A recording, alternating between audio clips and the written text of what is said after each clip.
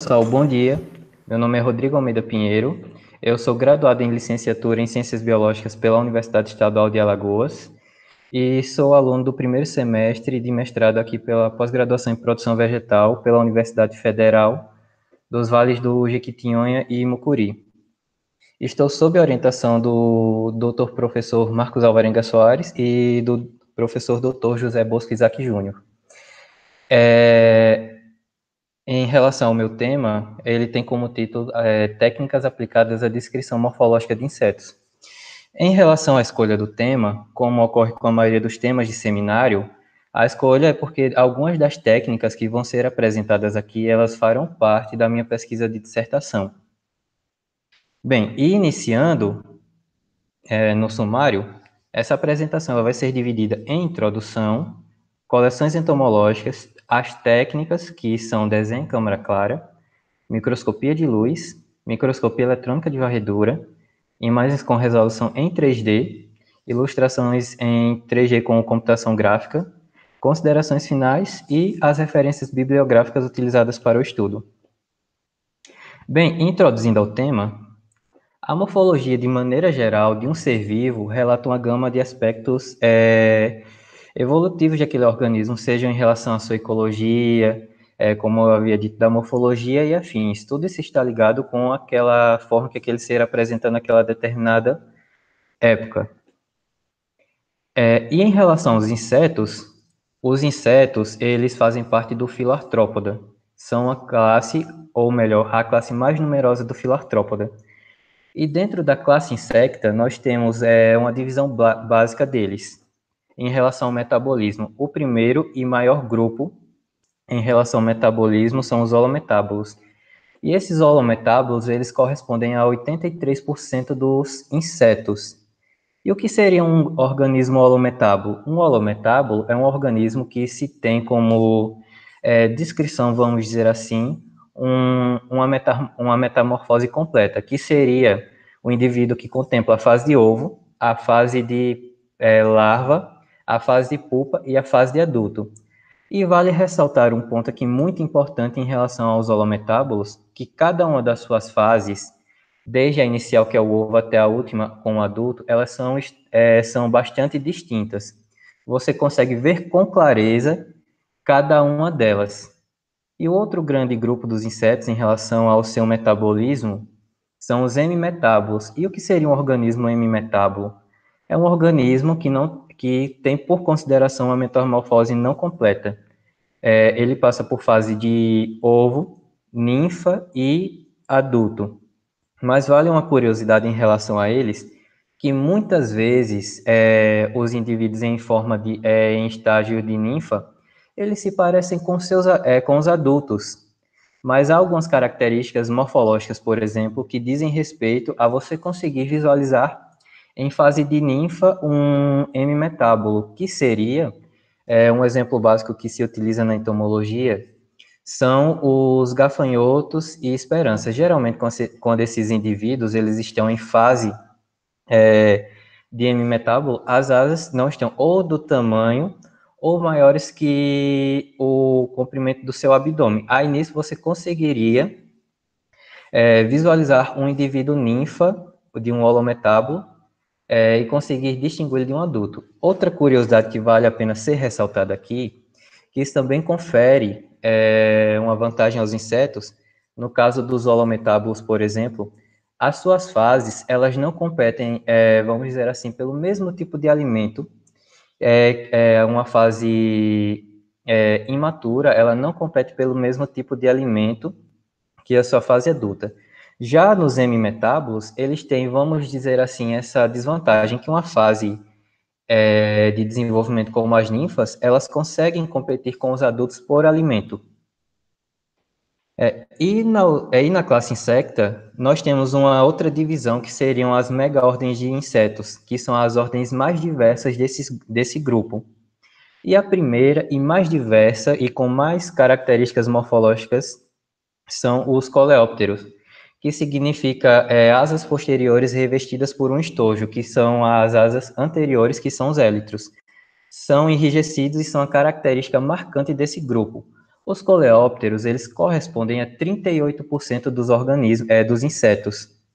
E se tem aí uma estimativa que aproximadamente 300 mil espécies já foram descritas. Os coleópteros, eles são representados por quem? Por vagalumes, por besouros e por joaninhas. São alguns exemplos de coleópteros. A segunda ordem mais diversa dos insetos, nós temos aí os lepidópteros, que significa asa escamosa e tem-se aí uma porcentagem de 16% é, desses indivíduos. Os lepidópteros, eles são representados principalmente pelas mariposas e borboletas. É, e nós temos aí uma estimativa que existe 150 mil espécies descritas desse grupo. O próximo grupo são os himenópteros, que significa asa membranosa. Nisso, os himenópteros eles correspondem a 13% dos insetos, tem-se aí uma estimativa que há, há cerca de 110 mil espécies descritas, e eles são representados principalmente por é, vespas, abelhas e formigas. E o último, é, e a última ordem do, dessa, é, dessas mega ordens de insetos são os dípteros. E os dípteros significa duas asas. Nisso, eles correspondem a 12% dos insetos, como representante dos dípteros, nós temos aí as moscas e mosquitos. E se tem aí uma estimativa é, que existem aproximadamente 90 mil espécies descritas de dípteros. Uma outra questão em relação aos insetos, ou melhor, a classe insecta, e faz com que eles sejam bem-sucedidos em relação aos outros organismos, é porque eles são estrategistas R. E o que seria um organismo estrategista R? Um organismo estrategista R é considerado aquele que a maioria deles, existem exceções, eles são indivíduos que não têm cuidado com a sua prole, eles se reproduzem, mas os adultos não permanecem no local para cuidar de sua prole. Os insetos possuem outro hábito muito interessante em relação a serem estrategistas R, é que eles é, tentam ocupar todos os nichos. Basicamente, em, qualquer, é, em todos os ambientes que você for, você vai conseguir encontrar um inseto. E, por último, outra coisa que beneficia os insetos e fazem com que, faz com que eles sejam diversos é que os insetos, eles têm ciclo de vida curto, como nós sabemos. Geralmente não passa aí de um período de 100 dias. Há exceções, mas não é uma regra. A maioria tem um ciclo de vida muito curto. Isso favorece questões de dispersão, é, reprodução muito acelerada e afins. Prosseguindo com a introdução, é, temos aqui a Casa do Manejo Integrado de Praga. É, e por os insetos é, tentarem e, na verdade, conseguirem ocupar boa parte dos nichos, em algum momento eles causam é, danos ao homem, seja de forma indireta, como nós sabemos aí que existem vários exemplos é, de insetos que são danosos ao homem, como vetores de doenças, e outros é, insetos que esses que nos importam é, no momento são os que causam danos indiretos, ou seja, praga, pragas agrícolas. E na casa do manejo integrado de praga, na base, a primeira base dele, dessa casa, é a taxonomia. E por que a taxonomia se faz tão importante? Ela tem uma função é, primordial nesse processo, seja para identificar inicialmente um organismo ou adotar técnicas para identificar um determinado organismo que já foi, mas não se tem registro em um local, ou uma determinada estrutura desse organismo. Vamos pensar é, na seguinte lógica: se você não sabe com o que você está lidando, como você vai tentar combatê-lo? Na literatura existem vastos exemplos de tentativas de controle de pragas que falharam simplesmente por você não saber com que está lidando ou aplicar o organismo é, correto para é, o controle daquele determinado inseto praga, vamos dizer assim. E se você não sabe com o que você está lidando, estratégias com os inseticidas sintéticos, é, o controle biológico, a manipulação ambiental, a manipulação genética dessas pragas, a resistência de plantas e a manipulação do ambiente vão ser inúteis. Por isso que a taxonomia está na base da Casa do Manejo Integrado de Praga e se torna primordial para esse processo, porque sem ela, tudo daqui para cima tem grandes, é, na verdade, vamos dizer assim, é quase uma infinita chance de falha. Prosseguindo com a introdução, nós temos as coleções entomológicas. As coleções entomológicas, elas, vamos é, utilizar um exemplo básico, servem como uma biblioteca para um taxonomista. Nisso, principalmente no final do século XIX e início do século XX, elas foram extremamente importantes para estudos taxonômicos. É, e também essas coleções entomológicas, elas servem para uma questão histórica. Elas revelam como era a questão do ambiente no período em que esse material foi coletado, é, as condições como o clima, a diversidade e a biogeografia daquele local em si. Por isso que as coleções entomológicas são importantes.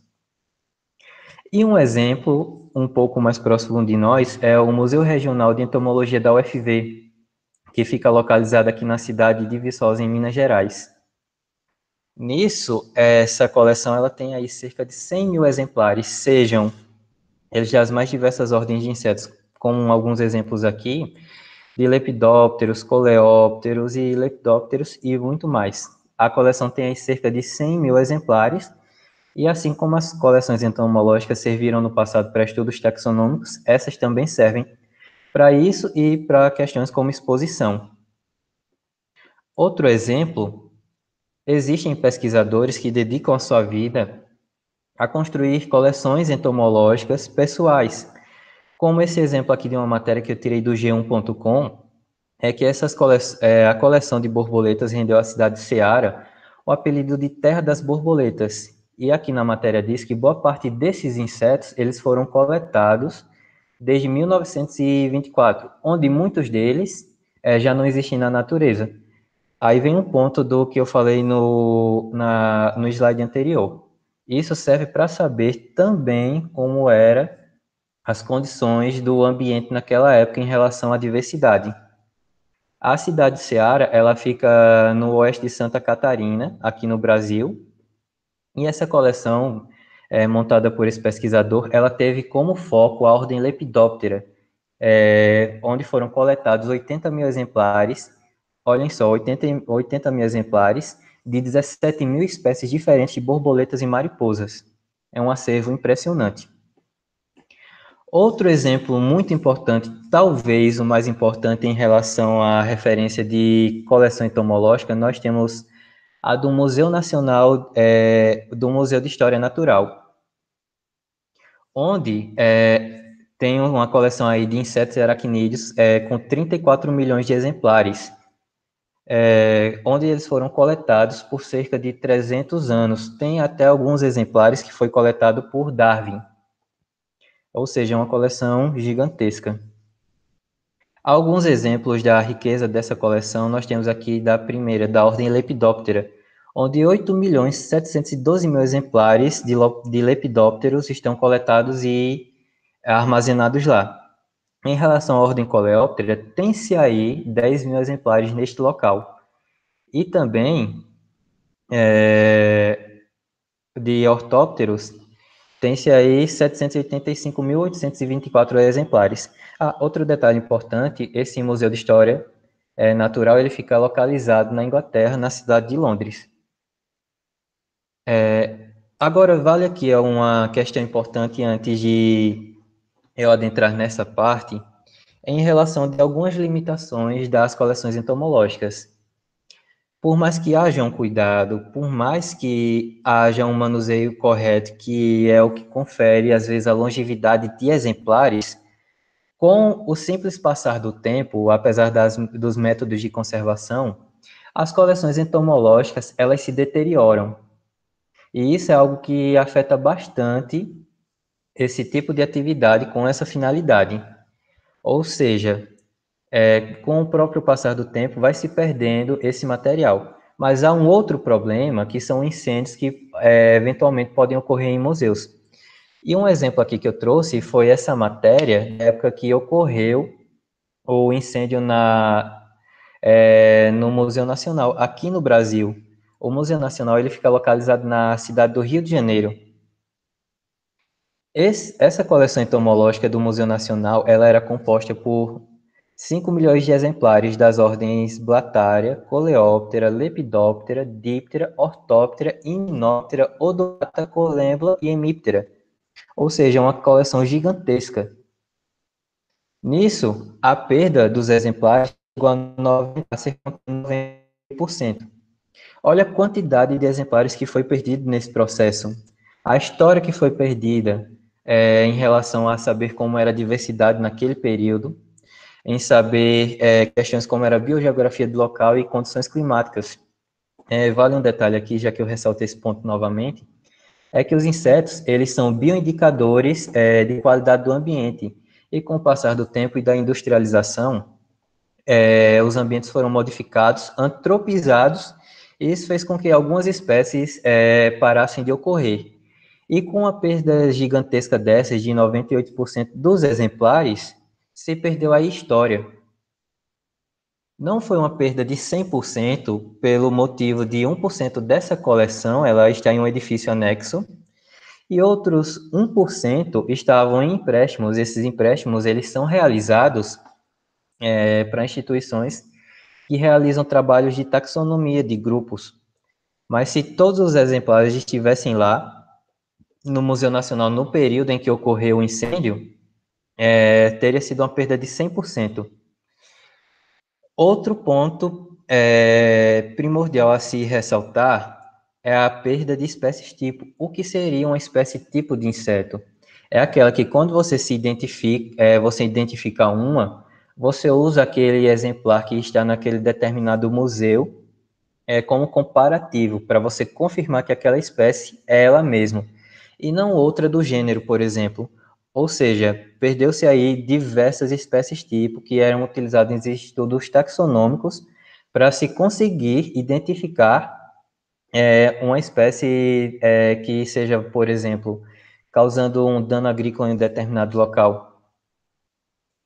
Bem, aqui nós podemos visualizar é, algumas fotos do momento do incêndio do Museu Nacional. É, como eu ressaltei, a mais prejudicada foi a coleção entomológica, mas não foi só ela que foi afetada, houveram outras também que foram afetadas. Mas no caso entomológica, ela que, é, que mais teve perda.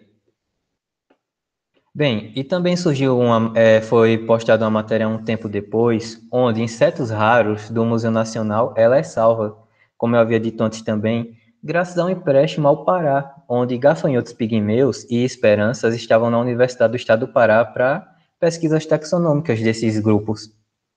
Aqui nós podemos visualizar algumas fotos dessa coleção, e foi um pouco do que sobrou, graças a empréstimos, depois que ocorreu a, o incêndio no Museu Nacional.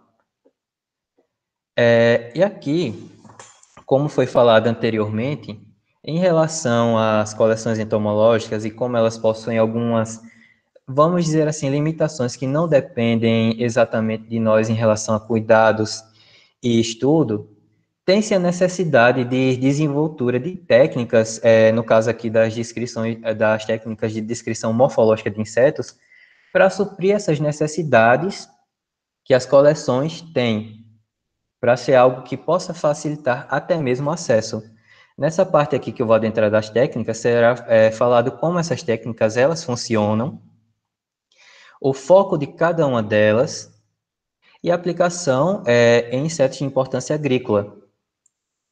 Inici é, e prosseguindo, o estudo de insetos é realizado a partir da obtenção de imagens de alta precisão e desenhos fidedignos, eles têm sido, têm sido constantes nas mais diversas áreas de pesquisa. Um ponto aqui que vale se ressaltar é que são utilizados para outros estudos de insetos que não representem, por exemplo, é, uma importância agrícola, mas no caso dos que serão falados é, daqui para frente, será com foco nisso. A primeira técnica abordada é o desenho em câmara clara. E para início, para essa técnica funcionar, é necessário um aparelho de visão binocular, no caso, estereomicroscópio. Um equipamento chamado câmara clara vai ser acoplado a ele onde vai proporcionar uma, é, uma observação tridimensional do objeto em foco, como podemos ver aqui uma lagarta, E a partir disso, essa vai ter uma visão é, é, sobreposta ao papel, onde você vai conseguir visualizar com precisão é, a, a lateral do inseto, que você vai conseguir ilustrá-la. E como foco na câmara clara, o principal, o que ela mais possibilita é a observação e a descrição de estruturas morfológicas com maior detalhamento. Através dessa técnica aqui, você vai conseguir produzir ilustrações é, com maior detalhamento e chamando atenção para, vamos dizer assim, é, partes chaves, partes que sejam características exclusivas daquele grupo de insetos que você está estudando. Como exemplo aqui, nós temos um indivíduo do gênero Conura, que é um himenóptero pertencente à família Calcididae. É, nesse aqui eu chamo a atenção para ele, que ele foi encontrado aqui, é, em Diamantina, ele está atuando como é, parasitoide de uma praga que estudamos, que é a bedélia, que é uma praga minadora da batata. Na imagem inferior, nós conseguimos visualizar, é, nós visualizamos uma foto dele, e na superior, um desenho. Aí eu faço a seguinte pergunta, por qual desses você conseguiria visualizar é, um maior detalhamento nas suas estruturas. Claro que no desenho. No caso da câmara clara também vale se ressaltar que ela é utilizada em, em, é, primeiramente, dentre outras técnicas, quando você está descrevendo uma espécie nova. Há suspeitas que esse conura aqui, ele seja uma espécie nova que a gente está descrevendo. E ela foi identificada por um dos membros do grupo de pesquisa NEMIP, e foi desenhado por outro, que foi o professor José Bosco. Nisso, como eu havia falado, é chamada a atenção também através dessa técnica, você pode ilustrar partes chaves. No caso aqui do fêmur desse indivíduo, é uma característica extremamente marcante da família Calcididae, que é uma família de himenópteros parasitoides. Aqui nós podemos visualizar com detalhamento a coxa do indivíduo, o fêmur dele, os dentículos e a tíbia, que são, como eu havia dito, características marcantes desses indivíduos.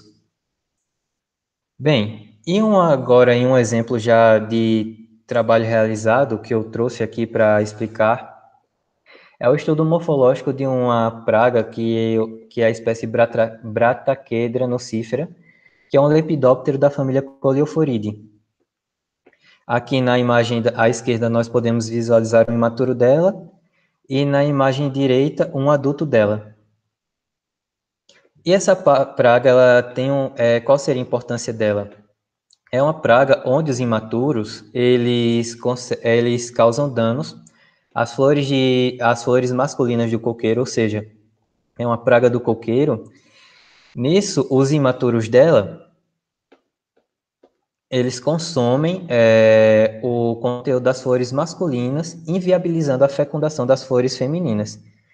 É, em relação aos insetos e, e, essas técnicas, outro ponto que vale se salientar antes que eu prossiga com a apresentação é que nem todas as fases dele, no caso dos, holometa, é, dos holometábulos, por exemplo, é, nem todas as fases deles causam danos agrícolas.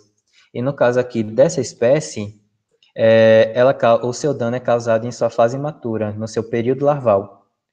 E prosseguindo com esse estudo aqui, ele trouxe uma descrição precisa desse inseto holometábulo das suas quatro fases, que é de ovo, de pulpa, aliás, de ovo, larva, pulpa e adulto. O primeiro ilustrado, aqui o ovo dela, aliás, à, à esquerda nós temos uma fotografia do ovo e à direita um desenho. É, em relação à altura, a técnica de câmara clara proporciona você visualizar e você desenhar com precisão o determinado objeto no tamanho. E esse ovo aqui desse, desse lepidóptero, ele tem tamanho de 0,1 milímetro, milímetros. A largura é, do ovo é de 0,4 milímetros. Em relação à cor dele, é só possível visualizar ela com a fotografia porque a câmera clara, ela não utiliza de essa técnica de ilustração, ela não utiliza de meios para a questão de coloração das ilustrações. Aí, com a fotografia, você consegue visualizar a cor. Mais detalhes, como essa questão aqui de minúsculos círculos na sua superfície, só é possível quando se faz a ilustração desse, é, desse objeto, que no caso aqui é o ovo. E, é e para ver com maior precisão o seu formato, que no caso desse ovo aqui é o convexo, é ovalado e convexo dorsalmente, também é facilitado através do desenho. É, e a larva dela, no caso desse estudo aqui, ele não descreveu os cinco estágios larvais dela, mas trouxe aqui é, a ilustração da cápsula cefálica da larva neonate, que é a larva de primeiro insta, que emergiu do ovo, e essa cápsula cefálica dela tem tamanho de 0,2 milímetros. Em relação ao comprimento dela, ela tem tamanho de 0,1 milímetros. É, em relação à pulpa desse indivíduo, é, temos aqui uma visão dorsal dela, uma visão ventral e uma visão lateral esquerda. E elas têm tamanho de 1, é, de 1 milímetro. Outro ponto importante dessa ilustração aqui é que você, como eu, é, como eu havia dito, fala, é, como eu havia falado antes, é, você pode chamar atenção para partes chaves de um determinado organismo. No caso aqui, o ápice abdominal da fêmea na primeira imagem e o do macho. Já é possível é, ter uma, um dimorfismo sexual desses indivíduos em fase de pupa, onde é visível a diferença do, é, do ápice abdominal da fêmea e do macho. E essa estrutura aqui, em, ambas, em ambos os tipos, macho ou fêmea, tem tamanho de 0,2 milímetros. Em relação ao adulto dela, temos aqui uma visão dorsal dele, que tem tamanho de 1 milímetro, a antena do tipo filiforme, que tem tamanho de 1 milímetro, a cabeça do indivíduo, que tem o tamanho de 1 milímetro, a 0,5 milímetros, perdão. As pernas, o primeiro par de pernas, que é a protorácica, com tamanho de 1 é, milímetro. O segundo par de pernas, que são as pernas mesotorácicas, também com o mesmo tamanho. E o último par de pernas, é, de patas, ou me melhor dizendo, são as pernas metatorácicas. Aqui tem, tem a ilustração do abdômen da fêmea, completo, que tem tamanho de 1 milímetro, e o ápice do abdômen do, e a base do abdômen do macho, que nos segmentos anteriores é similar ao da fêmea, é, podemos visualizar essa diferença, tem tamanho de 0,2 milímetros. E aqui é uma fotografia da fêmea.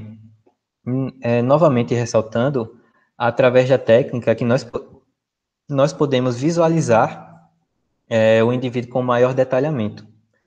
E a próxima técnica é, que vai ser falada aqui é a microscopia de luz. Também uma é uma técnica até mais simples que a anterior, onde ela funciona da seguinte maneira: é, quando você prepara um material que você coloca no microscópio de luz e que você manuseia ele, ele funciona da seguinte maneira: os raios luminosos eles são defletidos e convergem, é, e convergem para o objeto, então, e, então se passa através das lentes da ocular e são novamente defletidos.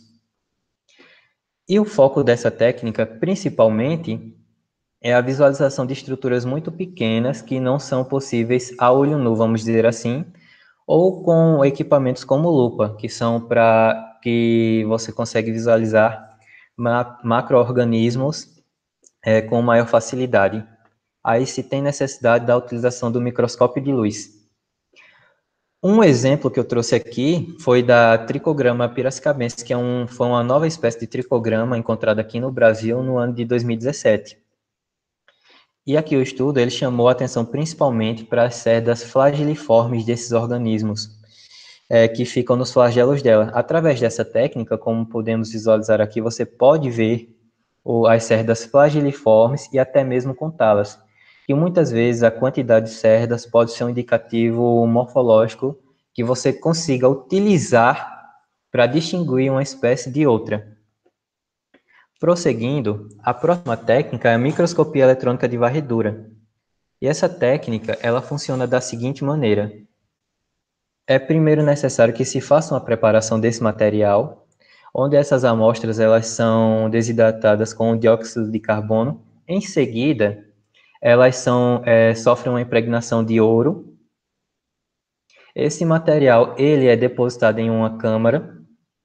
O microscópio é ligado e ele emite um feixe de elétrons que excita o ouro e a imagem é capturada pela, pelo computador acoplado a ele. É, essa imagem é digitalizada. Aqui podemos ver um exemplo é, de um organismo que passou por essa técnica, que é a cabeça de um imaturo de coleóptero e alguns dos segmentos do seu corpo. É, e chamando a atenção aqui para a questão da técnica, ela tem como principal função a visualização de estruturas micro, micrométricas. Ela, nesse sentido, é mais eficiente que as anteriores. Nós temos aqui um exemplo de ovos de, de distintos, que é um percevejo da família Pentatomidae, e age como predador e é utilizado em biocontrole. É, e outro ponto que vale se ressaltar aqui é que com o avanço dessas técnicas dos estudos taxonômicos, é você poder utilizar as formas imaturas para conseguir é, fazer uma, é, uma descrição morfológica. Por exemplo, nesse caso aqui, esse tipo de técnica vem descrevendo os ovos dessa espécie e ela apresenta descrições, é, características morfológicas diferentes de outros pentatomídeos que também são utilizados como agentes de biocontrole. E também eu trouxe um exemplo de já de um material também divulgado, é, onde esse estudo com utilizando microscopia de eletrônica de varredura tem como título Caracterização morfológica de 10 espécies de tricograma e Minoptera tricogramatidae que foram registradas aqui na América do Sul. Bem, e esses insetos, a, as tricogramas, ou melhor, o gênero tricograma, são indivíduos altamente eficientes e bastante difundidos e utilizados no controle biológico. As tricogramas são um gênero bem-sucedido de parasitoides de ovos de lepidópteros. São utilizados aí em culturas como cana-de-açúcar, milho e tomate. São bastante eficazes no controle de lepidópteros que atacam essas culturas, por exemplo. Uh, alguns, dos, alguns dos pontos abordados aqui foram algumas características morfológicas Diferente do exemplo com câmara clara, aqui foi mais para estruturas que conseguiriam descrever as, essas 10 espécies diferentes utilizadas. No caso aqui, foi observado os sensilos basicônicos. E o que seria um sensilo basicônico de um indivíduo? É um órgão sensorial é, com função olfativa presente nos insetos. Da, da primeira espécie aqui que eu vou mostrar, da Tricograma cassioi, o seu sensilo basicônico, ele tem formato ovolado. Diferente do da Tricograma exíguo, uma outra espécie utilizada nesse estudo, os sensilos basicônicos têm formato proeminente.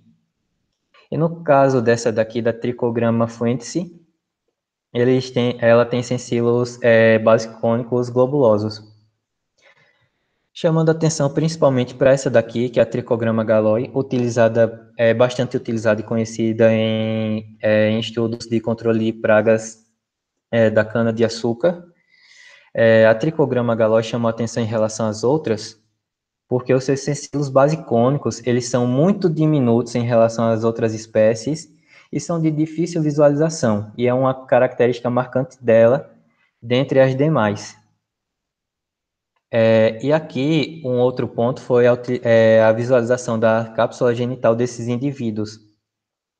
É, e antes de falar da característica dessa primeira aqui, da tricograma cassioi, geralmente nesses estudos é muito utilizado machos é, das determinadas espécies que vocês queiram, é, que se queira estudar.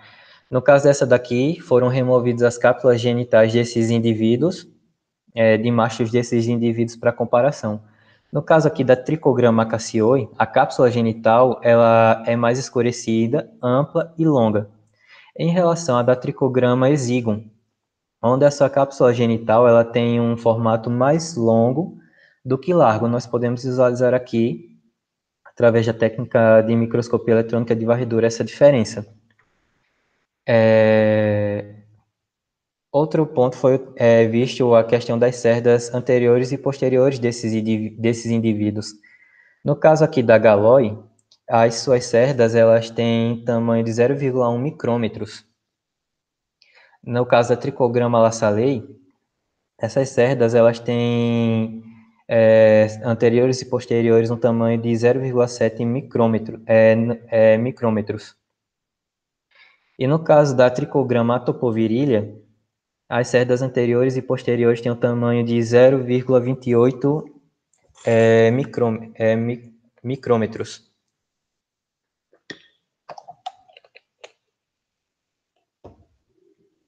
Prosseguindo, a próxima técnica é as imagens com resolução em 3D. E como essa técnica ela funciona?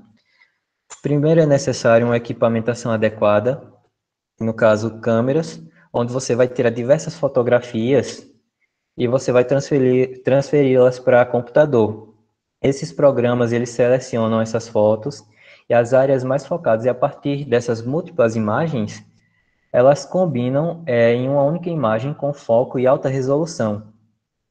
Isso permite que você amplie essas imagens você consiga visualizá-las sem que elas percam o foco e a sua qualidade.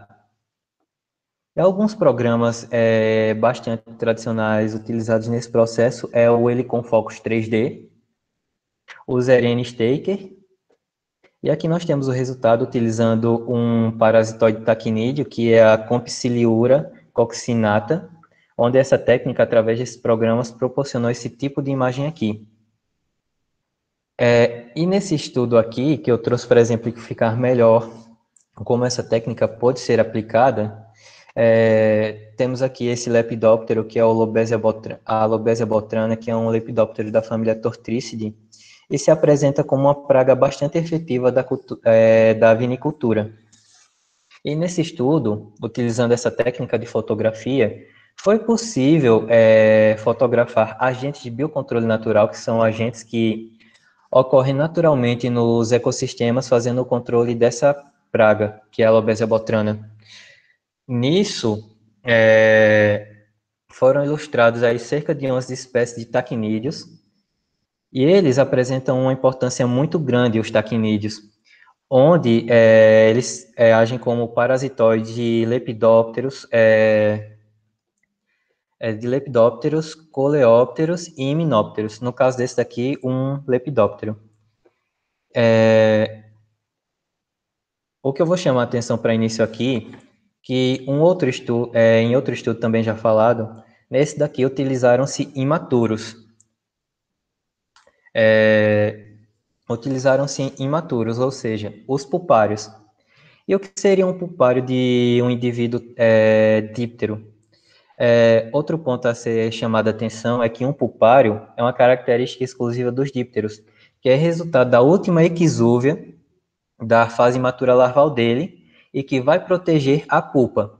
E tem como função, já que a pulpa é sensível e fica dentro dessa estrutura, é, tem-se as placas espiculares, que elas proporcionam trocas gasosas é, do indivíduo que está encapsulado dentro desse pulpário com o ambiente.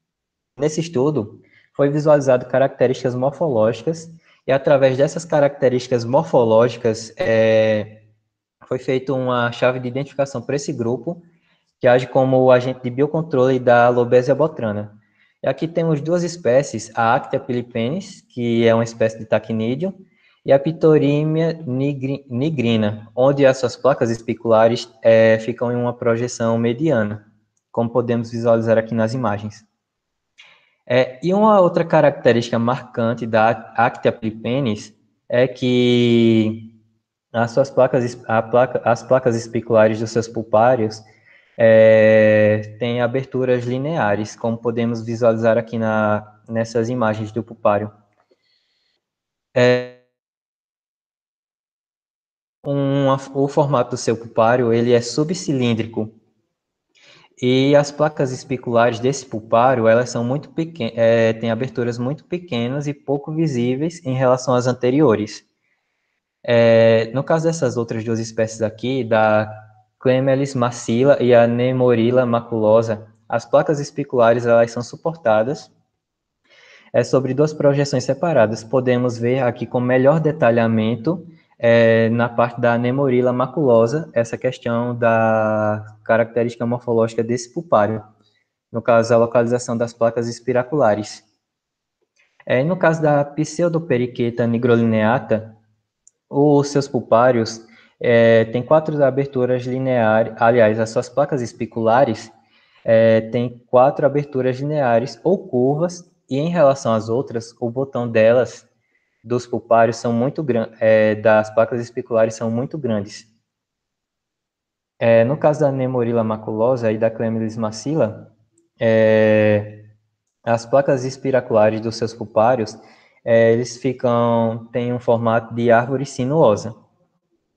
É, e uma outra técnica que vai ser abordada aqui é a ilustração em 3D com computação gráfica onde essa técnica ela foi aplicada para a questão da descrição é, de características morfológicas do cérebro do Lepidoptero heliotis virensens. virensens.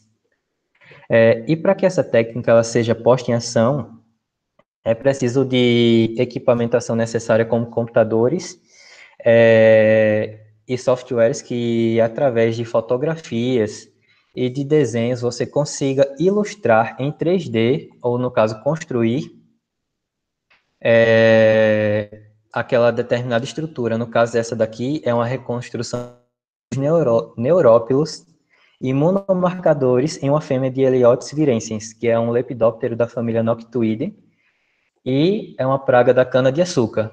E é possível visualizar com detalhamento a placa lobular, a, o lobo antenal, o chifre lateral, os cálices, o corpo central, o corpo cogumelar, o lóbulo, a medula e o gânglio subesofágico. Bem, é, com perspectivas que nós temos aí para o futuro, esse exemplo que eu trago aqui, que ainda não foi posto para uma questão de estudo taxonômico, é que esse ano o Google lançou modelos em 3D de alguns insetos. Isso é um indicativo de que no futuro seja possível a construção é, de coleções entomológicas e museus virtuais com esses modelos, que não tenham só as ilustrações, é, como eu posso dizer, é, lá para você observar, mas que você possa vê-las como se movem, é, como elas voam, que também são características marcantes dos insetos. E também Nesses modelos aqui, como eles não são utilizados para estudos taxonômicos, mas podemos ver a fidedignidade em relação às espécies originais. E isso age como indicativo para o que vem aí pela frente. É, outro ponto é, que eu gostaria de apresentar aqui é um projeto que tem do Núcleo de Manejo Integrado de Pragas, que está em construção ainda não foi finalizado, que é o Museu Entomológico Virtual é, de Insetos da Serra do Espinhaço, que é um projeto aqui da UFVJM. A início, é, esse, esse, museu entomológico ele vai agir é, divulgando fotografias da entomofauna daqui. Mas posteriormente, com o avanço da, da tecnologia, né, quem sabe nós não tenhamos aí é, modelos em 3D disponíveis ao público. Aqui está o link do museu. É, ele ainda não está em funcionamento, mas aqui está o link, vai ser divulgado juntamente com a na biografia do, desse vídeo aqui. E algumas perguntas que, devem, que se devem ser feitas. Se essas técnicas, elas possuem limitações? Sim, a resposta é que sim. Elas possuem limitações. É, a início, é, em relação à câmara clara, um primeiro ponto limitante é que são ilustrações que não possuem cor. Você vai ter ali com detalhamento a morfologia daquele indivíduo descrita, mas ele vai estar em color, somente no preto e branco. Em relação à microscopia é, de luz, o outro ponto que se observa é que para estruturas muito pequenas ela se torna ineficaz. No caso da varredura, além de proporcionar imagens é, acinzentadas, só funciona geralmente para estruturas é, micrométricas. Em relação às fotografias, elas são bastante úteis, porém, uma das suas limitações é que elas não permitem, não permitem uma profundidade, não permitem uma visualização com detalhamento daquelas estruturas. Você vai ter a estrutura como ela realmente é, mas não permite que através dela você consiga visualizar.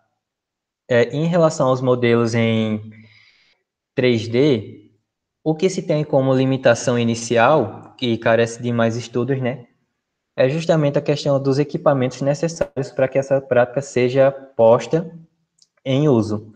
E também capacitação para que ela seja executada. Bem, outra pergunta a ser feita é a utilização dessas técnicas em conjunto. Isso é possível? Sim. Há vários, de, é, há vários exemplos na literatura voltadas a isso, onde essas técnicas, mais de uma no caso, elas foram aplicadas em estudos morfológicos de insetos.